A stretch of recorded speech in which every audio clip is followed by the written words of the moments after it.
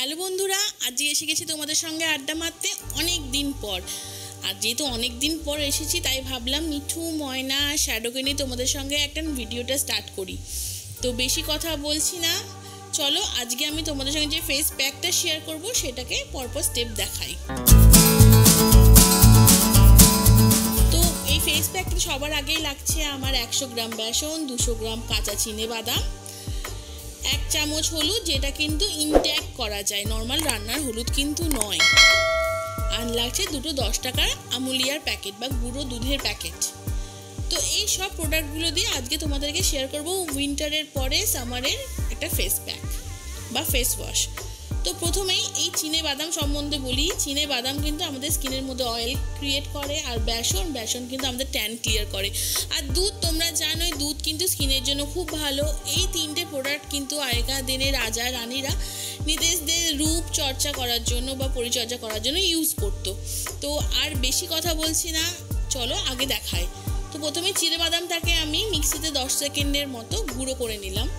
দেখো, অনেকটা ওটসের মতো টেক্সচার হবে। খুব বেশি করলে কিন্তু বাদাম থেকে তেল বেরিয়ে যাবে আর বাদাম কিন্তু নরম হয়ে যাবে। এটা দলা দলা পেকে যাবে, যেটা কিন্তু আমাদের এই ফেস প্যাকের জন্য পারফেক্ট হবে না। তো এই টেক্সচারটাকে আমি রেডি করলাম। করার পরে প্রথমে একটা বড় মিক্সিং বোল নিলাম। মিক্সিং বোলের মধ্যে এই পুরো বাদাম গুঁড়োটাকে আমি দিয়ে দিলাম। বুঝতে পারছ টেক্সচারটা একটা ওটস ওটস ক্রিয়েট হয়েছে। এরপরে আমি এর মধ্যে অ্যাড করছি পরের প্রোডাক্টগুলো তো বাদাম আমার ঢালা হয়ে গেল বোলের মধ্যে। বাকি যে বেসনটা রয়েছে একশো গ্রাম, সেই বেসনটাকেও পুরো আমি বাদামের মধ্যে দিয়ে দিচ্ছি। বাস বেসনের পরে এর মধ্যে আমি অ্যাড করব এই হলদিটা এক চামচ, যেটাকে আবার আমি বলছি রান্নার ব্যবহার করা হলুদ কিন্তু নয়। তোমরা চাইলে কিন্তু অনলাইন করতে পারো, কিনতে পারো। আর এরপরে অ্যাড করছি আমি গুঁড়ো দুধ। তোমরা ভাবছ দুধ এরকম বাইরে পড়ছে কেন? শ্যাডো পাশ থেকে প্রচণ্ড ডিস্টার্ব করছিল বিকজ হি লাভস মিল্ক তো এই পুরো দুধটা আমি দিয়ে দিলাম এর মধ্যে। এরপরে হাত দিয়ে খুব ভালো করে মিক্স করে নিচ্ছি, যাতে চারটি ইনগ্রিডিয়েন্টস একসঙ্গে খুব ভালো মতো মিক্স হয়ে যায়।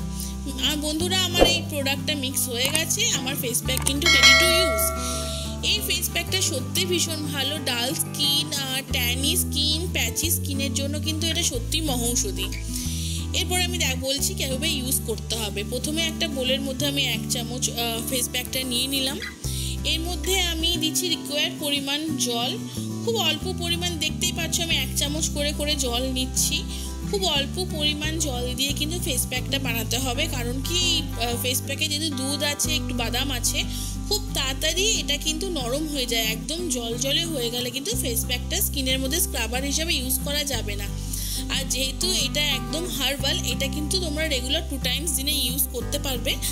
আর ফেস প্যাকের পরিবর্তে বা ফেস ওয়াশের পরিবর্তে সকালে আর রাত্রে আমি তোমাদেরকে এইটুকু শিওর করতে পারি, তোমরা যদি সাত দিন পর পর এটা ইউজ করো তোমাদের স্কিনের পার্থক্যটা তোমরা আরামসে বুঝতে পারবে। আমার ফেস প্যাক কিন্তু তোমাদের সঙ্গে কথা বলতে বলতে রেডি হয়ে গেছে। টেক্সচার বুঝতে পারছ না, পুরো একদম ড্রেনি টেক্সচার আবার একদম আটা মাখার মতো শক্তও নয়। তোমাদেরকে স্যাম্পল দেখানোর জন্য তোমরা আজকে ভাবছ যে হঠাৎ কেন আমি কোনো ফেস প্যাক শেয়ার করছি? আসলে আমার স্টুডেন্টরা অনেক দিন ধরে আমাকে বলছে, দিদি, কেন তুমি আমাদের সঙ্গে ফেস প্যাকটা শেয়ার করছ না? কেন তুমি তোমার এত ধরনের স্কিন কেয়ার রেমেডিগুলো শেয়ার করছ না? তাই ভাবলাম যে যখন ওদের সঙ্গে শেয়ার করব, কেন তোমাদের সঙ্গে আমি শেয়ার করব না? আফটার তোমরাও আমার বন্ধু। তো সেই কারণে আমি চলে এলাম একটা উইন্টার আফটার উইন্টার একটা সামার স্পেশাল ফেস প্যাক নিই যেটাতে আমাদের উইন্টারে হয়ে যাওয়া ড্যামেজ স্কিনটাকে আরও ভালো করে তুলবে।